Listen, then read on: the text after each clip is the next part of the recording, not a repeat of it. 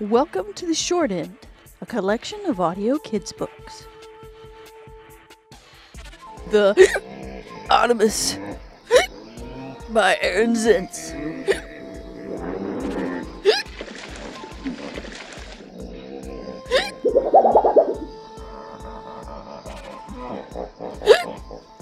There was a hippopotamus who hiccuped quite a lot of us, and every time he got a us, he'd fall upon his bottomus. One day he saw an elephant with cakes of green and yellowfant. he tried to tell her hello, fant, but it didn't go so wellifant. She chased him toward a centipede, pouring new cementipede. he hicked by accidentipede and tripped the elephantipede. They ran near a rhinoceros with minty dental flosserus. His string went all crisscrossers. And that was the last straw, Surus.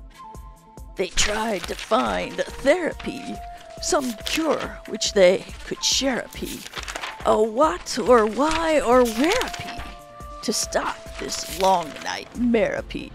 So they wrapped him round with licorice and spun him very quickerish.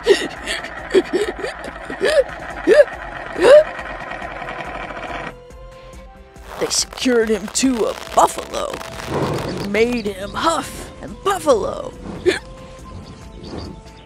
Boo! They acquired an aquarium and flashed him something scary. They poured him tubs of vinegar and tickled his chinny chin chinniger. and then, at last, a miracle! His hiccups, so spherical, just didn't reappearical. He grinned from ear to earicle until.